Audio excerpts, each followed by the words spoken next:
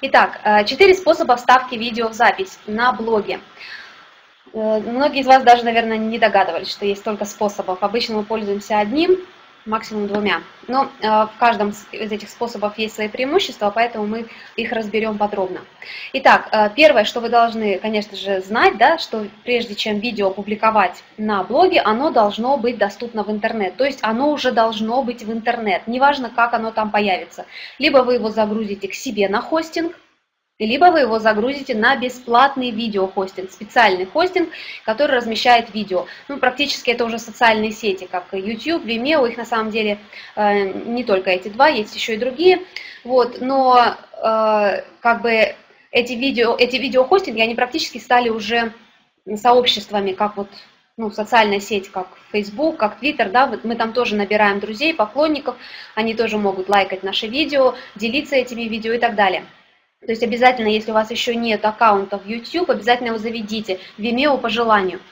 Вот, э, все, кто настраивали блог на шаблоне AB Inspiration, мы этот этап проходили. Мы все регистрировали YouTube, потому что там необходимо было вставить ставки специальные. Вот, э, все, кто вот с AB Inspiration, э, вы об этом уже знаете, и у вас наверняка аккаунт есть. Итак, э, когда вы э, загрузили видео, неважно куда, да, то есть либо на хостинг, либо на видеохостинг, у нас есть четыре э, технологии вставки видео. Мы, я вот сегодня расскажу об этих ставках, но мы еще будем подробно о них говорить на следующих занятиях. То есть сегодня мы некий такой обзор делаем. Итак, технология первой вставки, это шот-код, embed называется он. Это встроенный функционал WordPress, то есть встроенная возможность WordPress – вставлять видео. То есть это не плагины, ничего. Вот примерно с версии 2.9 WordPress начал работу над, э, над видео. То есть раньше, если помните, мы специальные плагины устанавливали, чтобы вставлять видео и так далее. Достаточно было все э, ну, не, просто, не сложно и не просто. Но сегодня, допустим, уже есть даже такая технология, которая позволяет позволяет даже вот без всяких кодов вставлять видео, просто э, вставить ссылку и все. Да?